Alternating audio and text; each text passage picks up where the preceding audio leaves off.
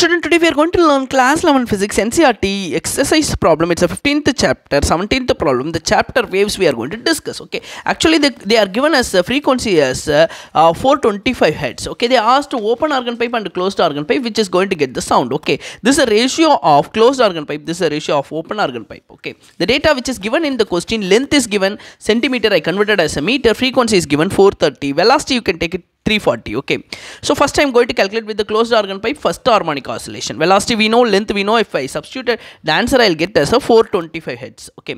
Frequency i'll get as a 425 hertz which is given value is uh, 430 hertz. So definitely i'll get sound here. That 5 will be uh, error no need to consider that okay? In open organ pipe nv divided by 2l so i'll get as a 850 definitely in this case i'm not going to get the sound okay? Thank you for watching my video. If like my channel please subscribe. Thank you everyone